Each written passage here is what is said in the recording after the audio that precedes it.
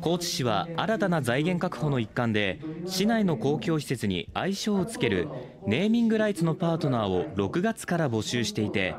今日桑名市長が契約を結んだ12の施設の愛称を発表しました。年間契約料が700万円と最も高額な高知市総合運動場は高知競輪の開催運営業務を行う日本トータ高知市総合運動場に。高知市東部総合運動場は南国市の井上石灰工業工業がパートナーとなり井上東部スポーツパークに。また年間契約料550万円のワンパーク高知は高知市の加納建設がパートナーとなり加納の森ワンパーク高知に。年間契約料500万円の中央公園は東洋電化工業が権利を獲得し東洋電化中央公園という愛称に決まりました。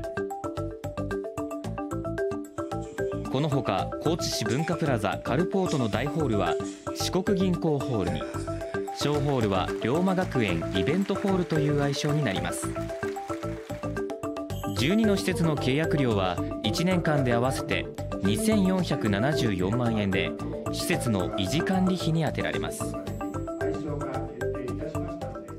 やはり官民一体となってまちづくりをしていくっていう思いが込められておりますので各企業もそういった思いで募集を応募していただいたものと思っております。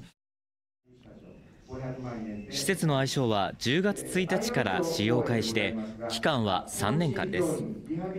また高知市では10月から残りの22施設のネーミングライツを追加募集するということです。